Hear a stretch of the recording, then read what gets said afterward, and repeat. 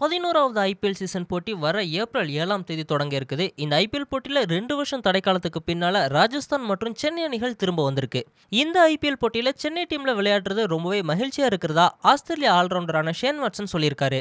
பதினோராவது IPL season போட்டி இந்த வருஷம் ஏப்ரல் மே மாதங்களில் நடக்குது. கிட்டத்தட்ட ரெண்டு வருஷம் தடைக்கு பின்னால சென்னை மற்றும் ராஜஸ்தான் அணிகள் திரும்பவும் களமிறங்கியிருக்கு. இந்த போட்டியில எல்லா அணிகளும் கிட்டத்தட்ட ஒரு சில வீரர்களை தவிர்த்து மற்ற அனைத்து வீரர்களையும் ஏழ முறையில் எடுத்தாங்க. அந்த வகையில சென்னையில இருந்த பல பிளேயர்ஸ் வேற டீமுக்கும் வேற டீம்ல இருந்த மற்ற பிளேயர்ஸ் சென்னைக்கு வந்திருக்காங்க. சென்னையில இருந்த அஸ்வின் பஞ்சாப்க்கு போயிருக்காரு அதே போல பஞ்சாபை சேர்ந்த ஹர்பஜன் சிங் சென்னைக்கு வந்திருக்காரு. இதே போல தான் ஆஸ்திரேலிய வீரரான ஷேன் வாட்சனையும் சென்னை அணி ஏலத்தில் எடுத்துச்சு. இந்த சீசனில் சென்னை அணிக்காக ஆஸ்திரேலியாவோட ஆல்ரவுண்டரான ஷேன் வாட்சன் ஏலத்தில் எடுக்கப்பட்டார்.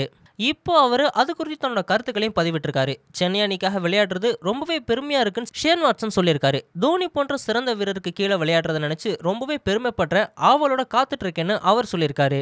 ஷேன் வாட்ஸனோட இந்த கருத்துக்கு சென்னை சூப்பர் கிங்ஸ் அணி தன்னோட நன்றியை தெரிவிச்சிருக்கு.